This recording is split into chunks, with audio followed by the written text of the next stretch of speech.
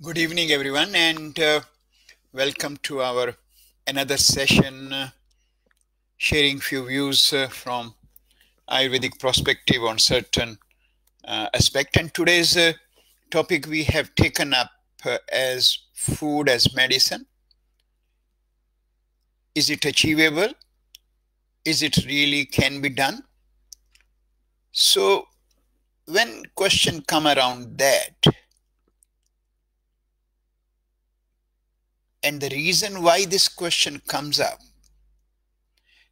because as I mentioned and shared many times, that everyone nowadays is very, very keen and becoming more aware than before about their well being.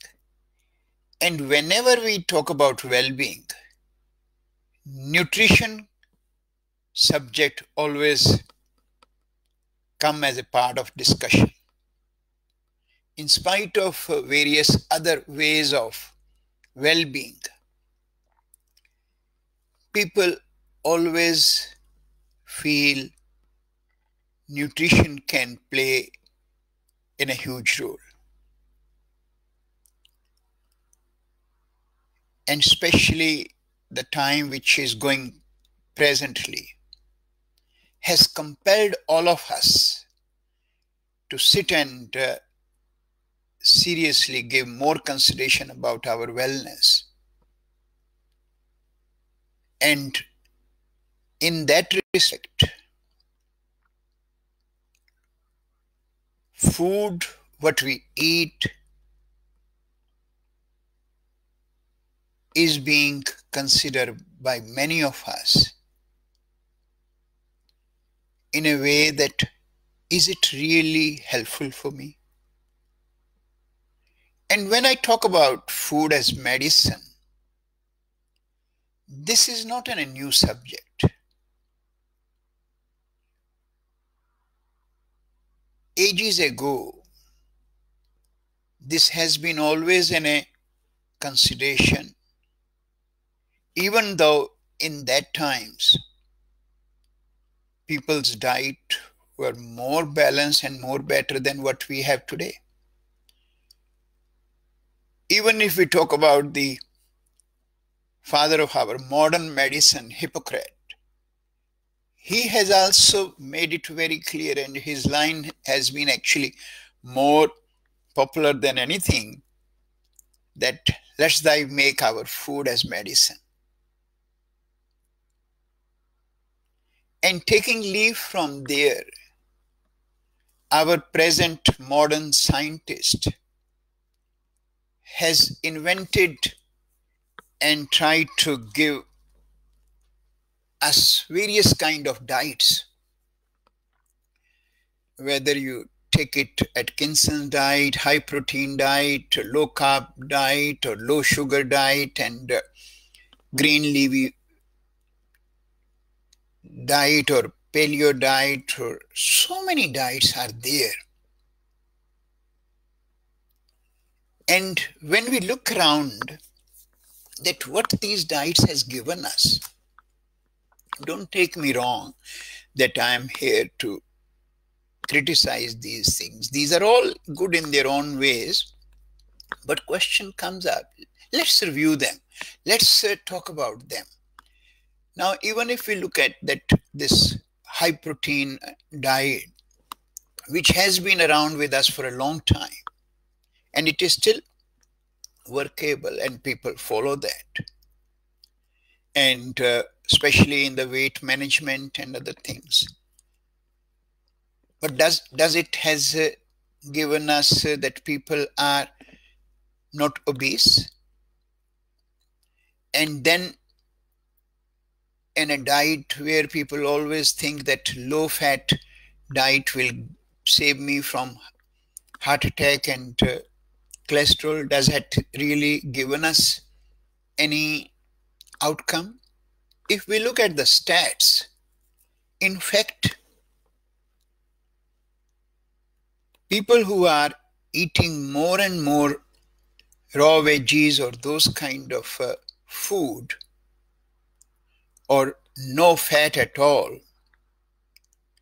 their cholesterol is more higher than a normal person.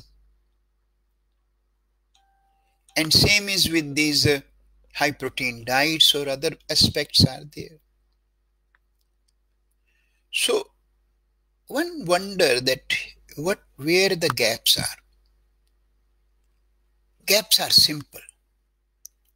And that is where this science which we are talking today, Ayurvedic medicine, one of the oldest ancient system of medicine, has given very clear answer. Whether someone accept it or not accept it, that's a different ballgame. But the reality is what Ayurveda talk about, that your digestion, your food is not just related with that how much carb, how much protein, how much fat you are taking. But what is required is that how your food get metabolized in your system. And to that, one factor which I have taken last time is that food need to get metabolized and that food is metabolized by our digestive fire which again, there is no question even from the Western medicines or other aspect that they also feel that yes food need to be metabolized. But then food need to be metabolized is just because that i have eaten and it will get metabolized. That is not the case. We have to give a lot of consideration that how i can make that food that meal which i have made and now i'm ready to eat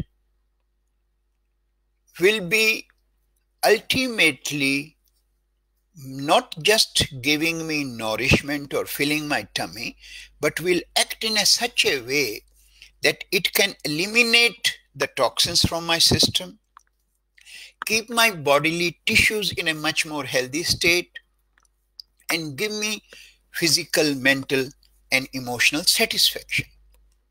That is how food consideration as medicine can come up.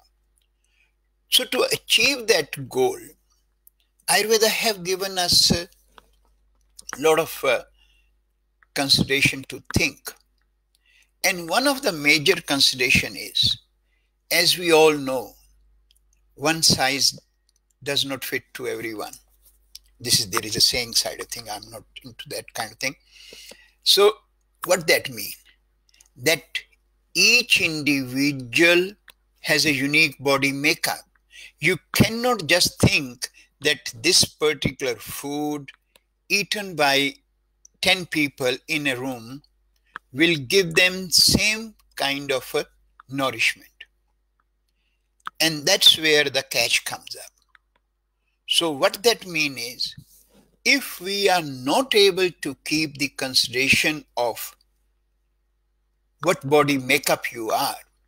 And that body makeup is given to all of us at our birth time. Then you have an, more chances to make your food at some stage poison.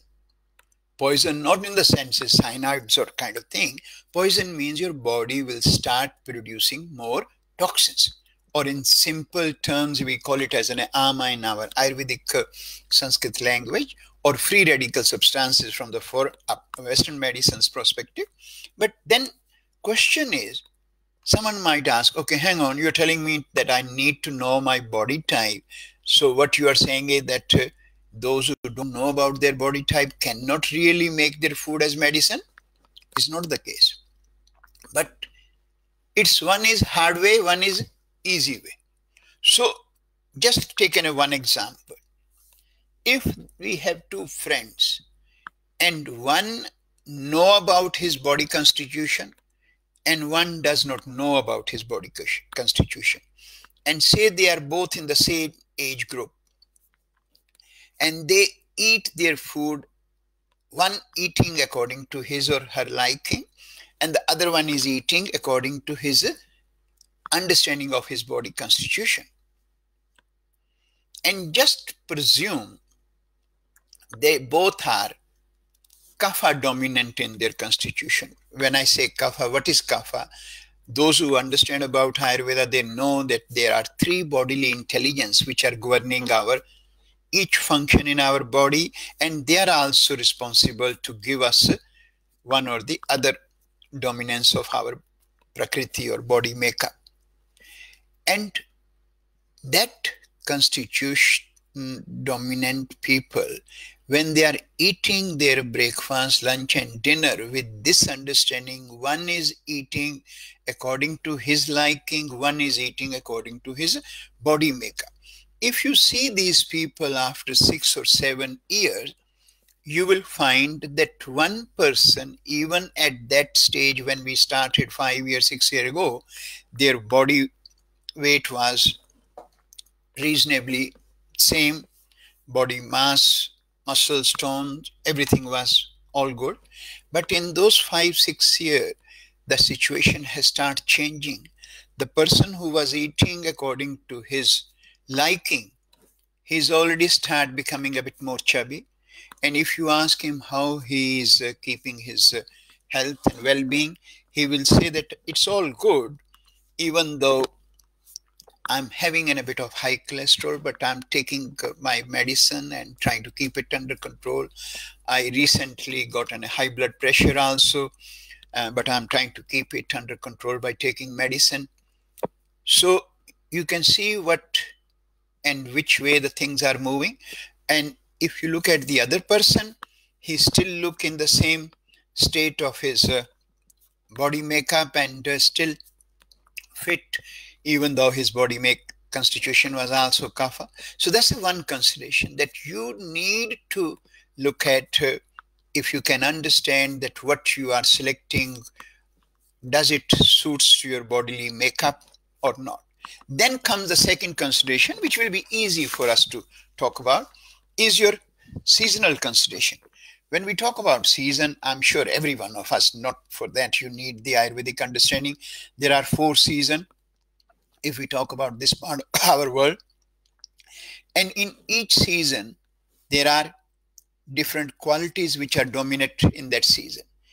And again, from Ayurvedic perspective, one thing is very simple, even not from Ayurvedic perspective, we all know that, that we also have the same body constitutional qualities what prevailing in the season.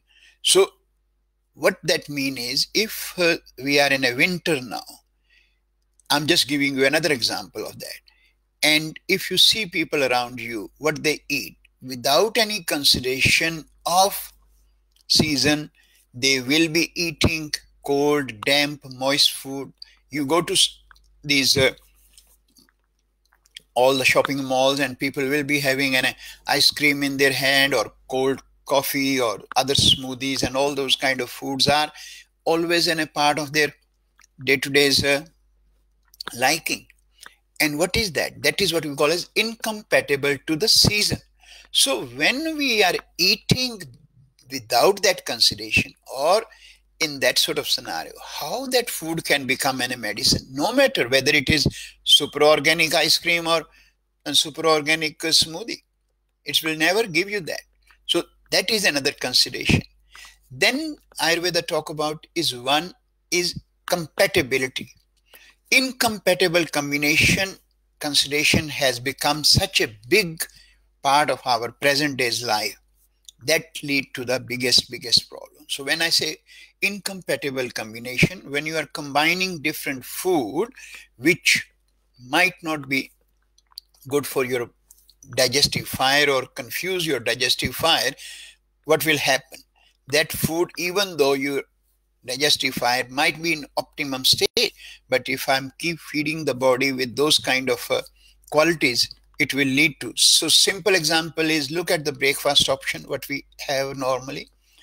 We have our cereals and on cereals we put uh, cold milk and then we might put in a little bit of banana and yogurt kind of combination that's a staple kind of breakfast which we always take and nowadays uh, smoothies has come up in smoothies you have yogurt you have an, a milk you have an, a protein and you have your fruit and frozen food fruit and kind of things and that's what you go, go into the bullet or something like that kind of thing. So that's what majority of us uh, are having nowadays.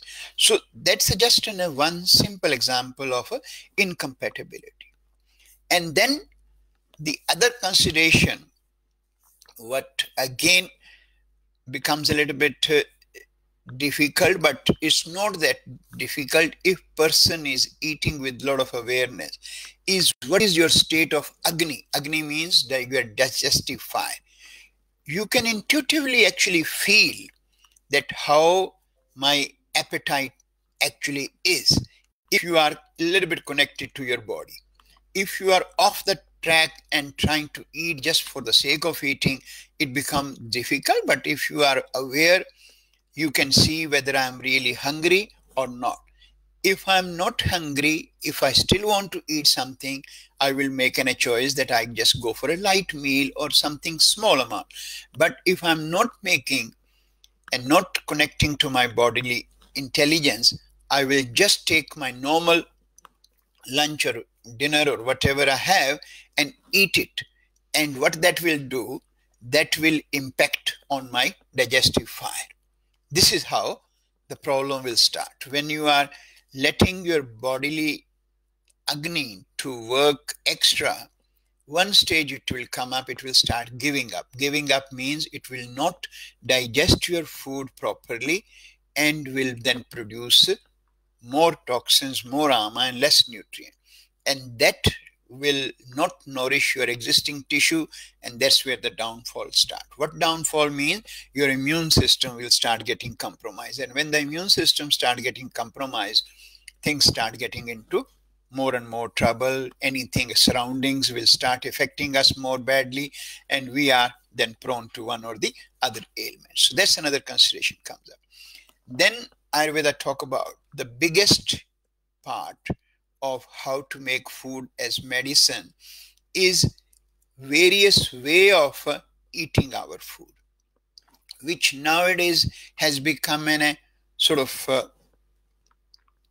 so guaranteed uh, thing that we can't even think of uh, if someone is not doing that way you can't imagine that why they are not doing that. What are the few things i will just share with you one?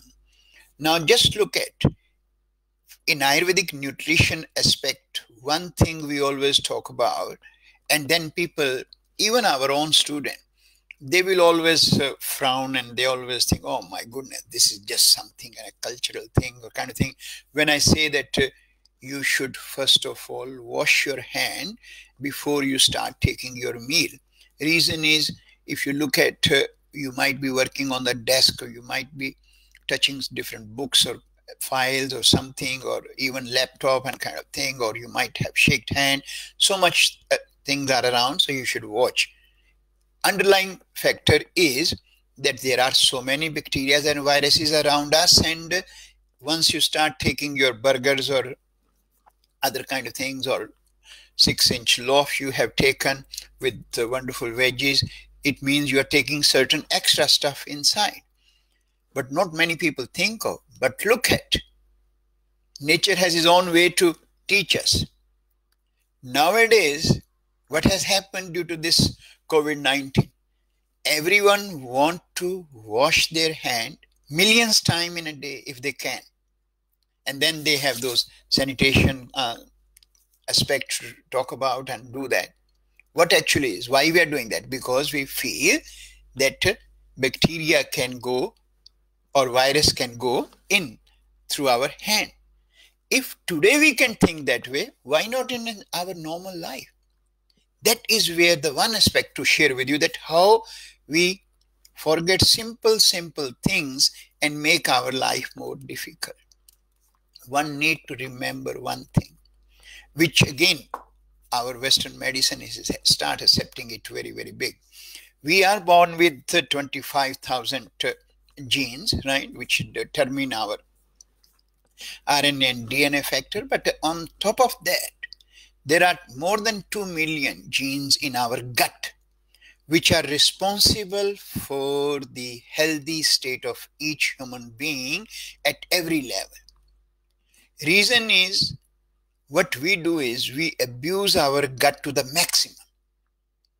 And when we abuse our gut to the maximum by feeding the body with a lot of incompatible food, wrong choices, and wrong way of eating, it becomes very difficult how we can keep our food into an state of medicine.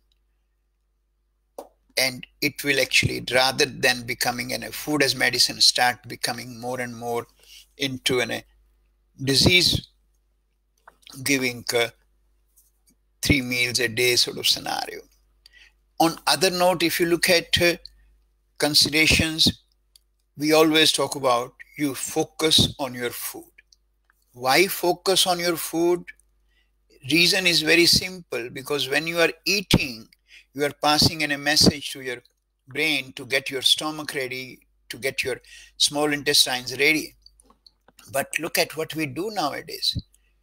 We have an, specific kind of fashion that we, when we sit on dining table, either the TV will be on or our computer games will be on and something uh, or my laptop is on and i just still trying to check emails or consideration or discussions might be happening on the table on my uh, dining table.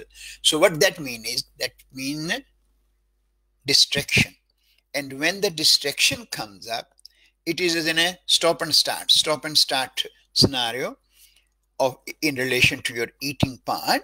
And when that stop and start aspect is happening you can do stop and start because it is your intellect you are controlling it. But your bodily intelligence stop and start does not work. Once it start it has kicked in the digestion process. It will keep doing the cooking it's not going to wait that because you have stopped i should now stop the secretion of those enzymes secretion of that hydrochloric acid and wait for next grass to come if it is nothing there, it is going to cook us. Cook us means cook our lining of our stomach and gut and lead to so many of our, uh, other ailments to us. So that's the simple, simple consideration. Then in Ayurveda, we always talk about don't eat and drink.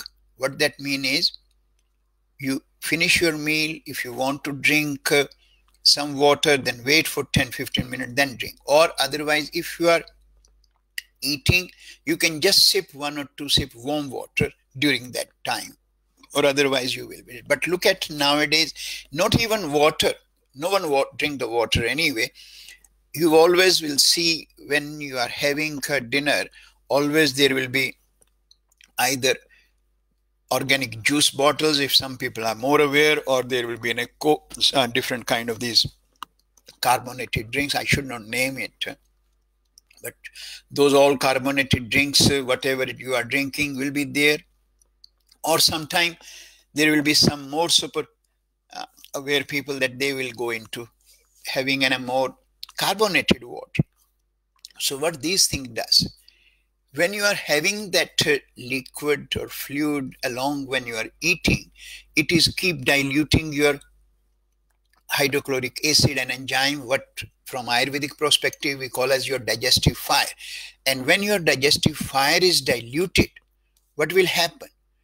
No matter how balanced food you have eaten it will not metabolize. And when it does not metabolize what it going to give you? Nutrient from where that will happen? It will produce more toxins. And that will be the first level of the toxin and they will keep multiplying and lead to more and more complications. So that's the where your simple simple considerations comes up. And then look at uh, another habit which is in a part and parcel of our life. We eat on run kind of thing which is obvious if you go and see sometime at lunchtime just uh, if you have few offices in a complex kind of thing and around there is in a park you will see a lot of people have their lunch in their hand and keep uh, eating and then keep talking on the phone and keep moving and then they are eating as a kind of someone is after them to snatch their food. So again what that do is that hamper your digestive process.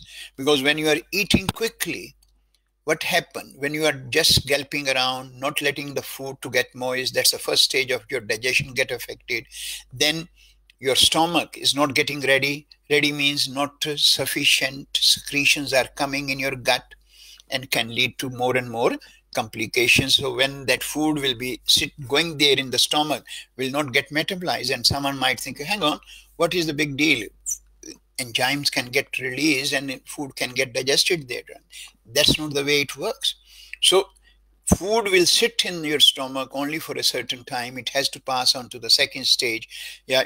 And then when the second stage happen in the small intestine, then that food, because it's not an already right amount of digestion has happened in the first stage, will not be able to get digested by those enzymes and will lead to further complications of producing more toxins and less nutrient. That is where these simple, simple considerations can make our food as poison or food as a medicine. So it is not that it is not achievable.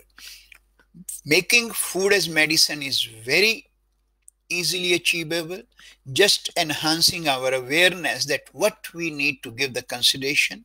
Selection of the food yes you must select right kind of good quality food but then you need to give consideration how i prepare that food how i eat that food and then the environment surroundings around you when you are selecting and eating that food will play in a big role.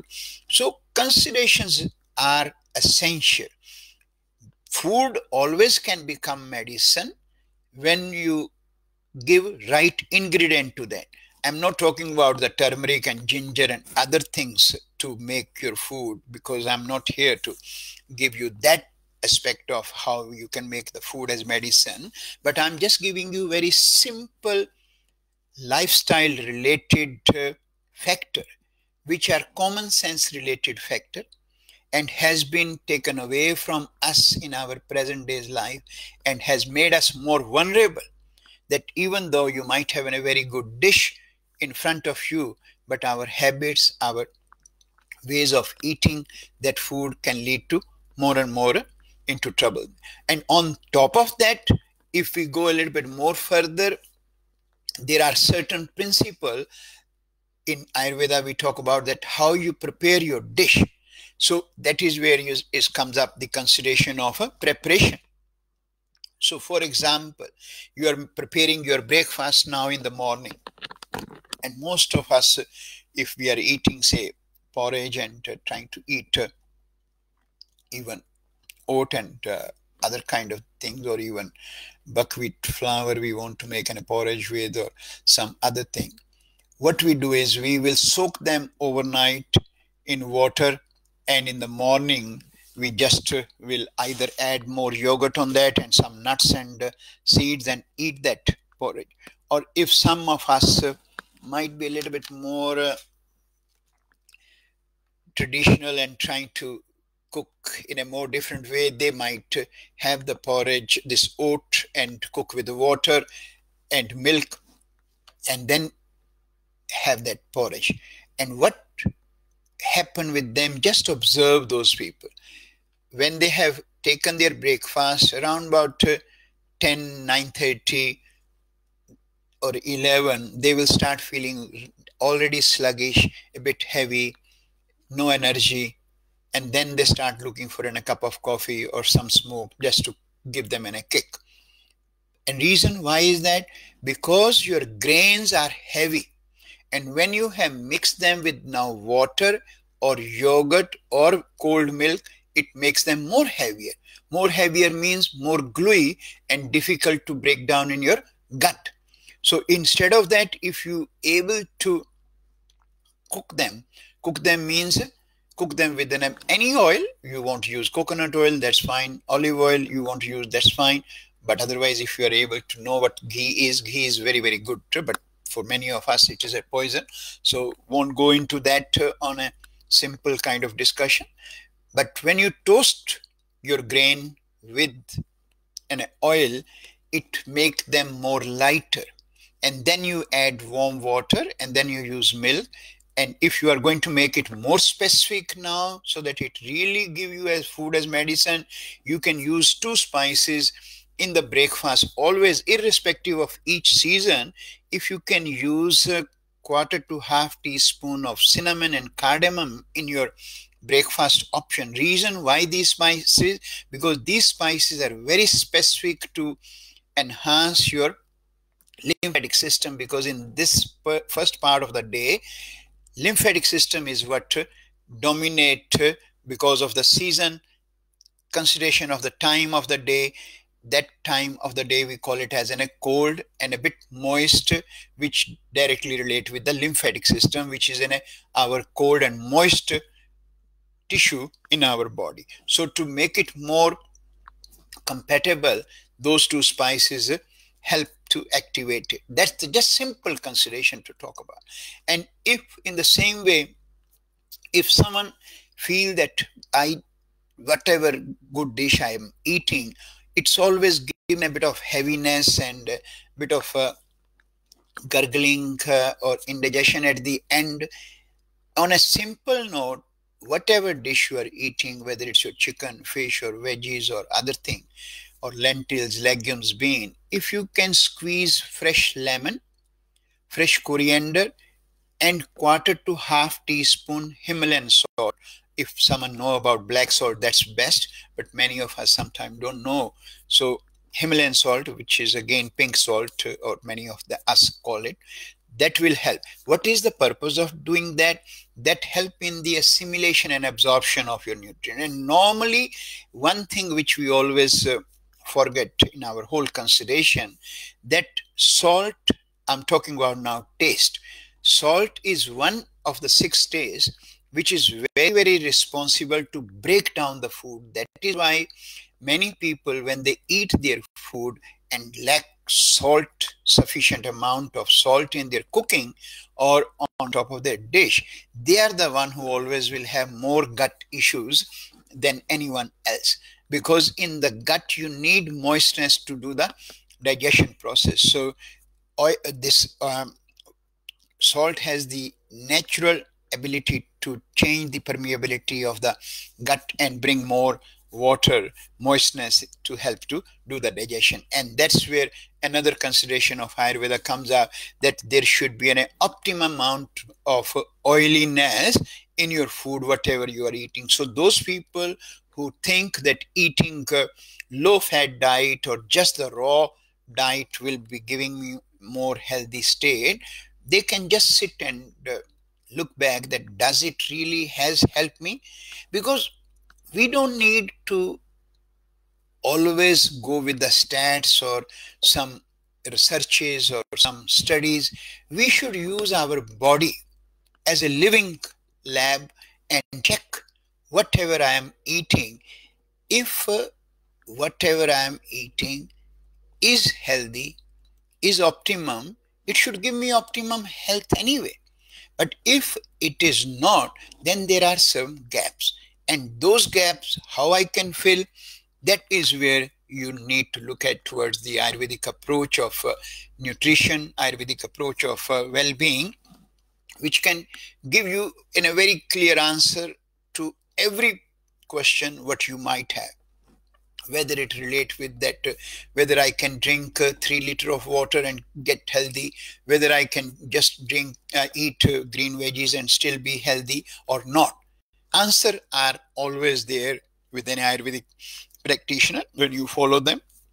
And they will teach you how to make your food as medicine. It is very much possible very easy to achieve. It's just a matter of us to trust those sciences which has been around and giving mankind that value of not just making how to make your six app, but how you can make yourself physically, mentally, and emotionally in a more balanced state. So that's for today. And if uh, any one of you will have any questions related with these, you can uh, send us and we will be happy to answer that. And uh, otherwise, thanks everyone for joining, those who have Uh, taken their time to be with us.